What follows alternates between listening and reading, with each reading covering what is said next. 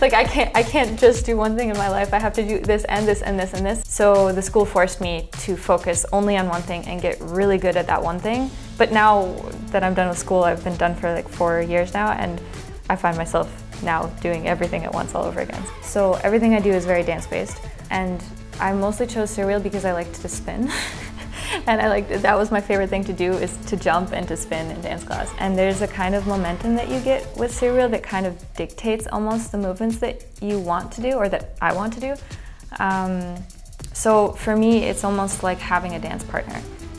That's partly for me why I want girl power not just to be just about girls, but actually about everyone and a reminder that actually everyone has their own power and it doesn't matter if you're a girl or a boy or a werewolf or whatever, you know?